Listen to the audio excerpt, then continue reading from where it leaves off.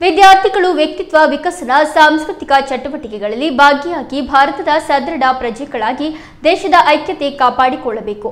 ಸಾಮಾಜಿಕ ಮಾಧ್ಯಮಗಳ ಶೈಕ್ಷಣಿಕವಾಗಿಯೇ ಹೆಚ್ಚು ಬಳಸಿಕೊಂಡು ಜೀವನದಲ್ಲಿ ಯಶಸ್ಸು ಸಾಧಿಸಬೇಕು ಎಂದು ಕರ್ನಾಟಕ ವಿಶ್ವವಿದ್ಯಾಲಯದ ಕುಲಪತಿ ಪ್ರೊಫೆಸರ್ ಚಂದ್ರಮ್ಮ ಕಿವಿಮಾತು ಹೇಳಿದರು.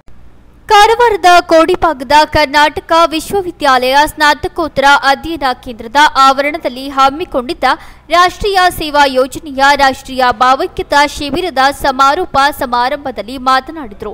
ಸೆಂಟ್ ಮಿಲಾಗ್ರಿಸ್ ಕೋಆಪರೇಟಿವ್ ಲಿಮಿಟೆಡ್ನ ವ್ಯವಸ್ಥಾಪಕ ನಿರ್ದೇಶಕ ಜಾರ್ಜ್ ಫರ್ನಾಂಡಿಸ್ ಮಾತನಾಡಿ, ಮಕ್ಕಳು ಆತ್ಮವಿಶ್ವಾಸ ಬೆಳೆಸಿಕೊಳ್ಳಬೇಕು.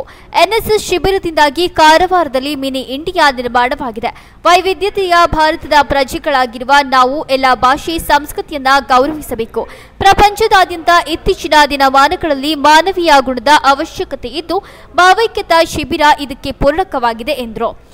ಎನ್ಎಸ್ಎಸ್ ಪ್ರಾದೇಶಿಕ ಅಧಿಕಾರಿ Pratap Lingaiah, Mercury ship private limited ವ್ಯವಸ್ಥಾಪಕ ನಿರ್ದೇಶಕ ಪಿವಿ ಪ್ರಜಿತ್ ಮಾತನಾಡಿದರು.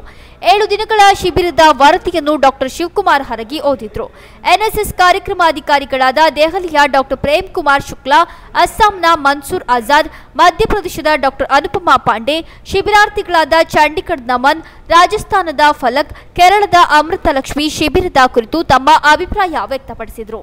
ಕರ್ನಾಟಕ ವಿಶ್ವವಿದ್ಯಾಲಯ ವಿದ್ಯಾರ್ಥಿನಿ ಪ್ರೇರಣಾ ಕಾರ್ಯಕ್ರಮ ನಿರೂಪಿಸಿದ್ರು. ಕರ್ನಾಟಕ ವಿಶ್ವವಿದ್ಯಾಲಯ ಎನ್ಎಸ್ಎಸ್ ಯೋಜನಾಧಿಕಾರಿ ಎಂಬಿ ದಳಪತಿ ಸ್ವಾಗತಿಸಿದ್ರು. ಕರ್ನಾಟಕ ವಿಶ್ವವಿದ್ಯಾಲಯ ಸ್ನಾತಕೋತ್ತರ ಅಧೀನ ಕೇಂದ್ರದ ಆಡಳಿತಾಧಿಕಾರಿ ಡಾಕ್ಟರ್ ಜೆಎಲ್ ರಾಥೋಡ್ ವಂದನಾರ್ಪಣೆ ಮಾಡಿದ್ರು. ಕೆನರಾ ಬ್ಯಾಂಕ್ ಪ್ರಾದೇಶಿಕ ವ್ಯವಸ್ಥಾಪಕ ನಂದಕಿಶೋರ್, ಎನ್ಎಸ್ಎಸ್ ದಕ್ಷಿಣ ಭಾರತದ ಪ್ರಾದೇಶಿಕ ನಿರ್ದೇಶಕ ಡಿ ಕಾರ್ತಿಕೇಯನ್, ಅರಣ್ಯ ಇಲಾಖೆಯ ಕೋಸ್ಟಲ್ ಮೊರೈನ್ ಸೆಲ್ನ ಆರ್ಎಫ್ಒ ಪ್ರಮೋದ್ ನಾಯಕ್, ಸರ್ಕಾರಿ ಡಿಪ್ಲೊಮಾ ಕಾಲೇಜು ಪ್ರಾಂಶುಪಾಲ ವಾಸುದೇವ್ ಗೌಡ, ಯುವಜನ ಸೇವಾ ಮತ್ತು ಕ್ರೀಡಾ ಸಚಿವಾಲಯದ ಅಧಿಕಾರಿ ವೈಎ ಉಪ್ಪಿನ್, ಶಿಬಿರದ ಸಂಯೋಜಕರಾದ ಡಾಕ್ಟರ್ ಶಿವಕುಮಾರ್ ಹರಗಿ, ಡಾಕ್ಟರ್ ಹನುಮಂತ ಮುಸ್ತರಿ ಇದ್ದರು. ಕೇಂದ್ರ ಪ್ಲಸ್ ನ್ಯೂಸ್, ಕಾರವಾರ.